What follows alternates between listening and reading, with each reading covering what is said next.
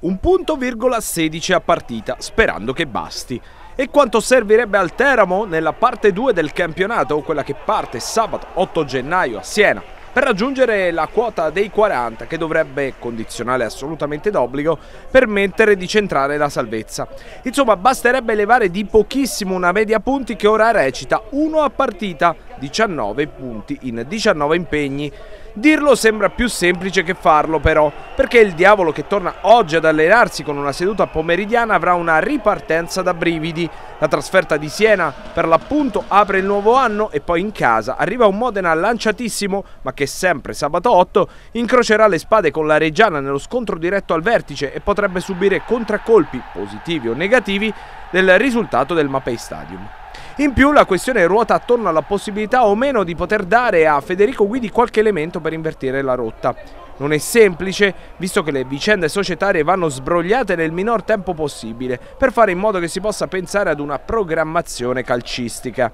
La pronuncia della Coaps tarda ad arrivare, il custode giudiziario a strettissimo giro incontrerà la dirigenza, sia la parte di maggioranza che quella di minoranza, anche in considerazione del fatto che allo stato attuale il Teramo ha un'autonomia a livello di cassa limitata ai prossimi due mesi. Sempre che non arrivi qualche offerta per qualcuno dei calciatori attualmente in organico, anche se vista la lenta progressione del girone d'andata, nessuno pare essersi messo in luce a tal punto da far accendere i riflettori del mercato su di sé. Nel frattempo, finché non ci sarà il semaforo verde per poter procedere all'ingresso di capitali, il tecnico bianco-rosso dovrà pensare a rinvigorire un gruppo che vive un momento di assoluta difficoltà, ma che se si guarda il prospetto delle partite disputate in stagione ha sempre viaggiato a strappi. Quattro vittorie con Viterbese, Pistoiese, Fermane e Pontedera, due in casa e due in trasferta, ma poi è stato sempre ciclicamente soggetto a ricadute con risultati negativi che hanno neutralizzato i successi appena ottenuti.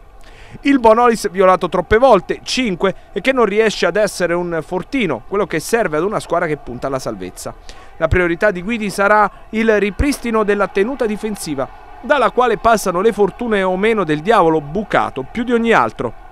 non prenderle, per una formazione che segna pochissimo significa anche riuscire a strappare un risultato positivo nelle gare complicate, quelle equilibrate, quelle che il diavolo ha dimenticato, considerate le uscite recenti che lo hanno visto sommerso di reti senza capacità di reazione. Ed è questo, la mancata reazione, l'aspetto più preoccupante che rende scettici sulla possibilità di arrivare a un punto e 16 a partita, un percorso non impossibile, ma di certo a cui servirebbero ben altri presupposti.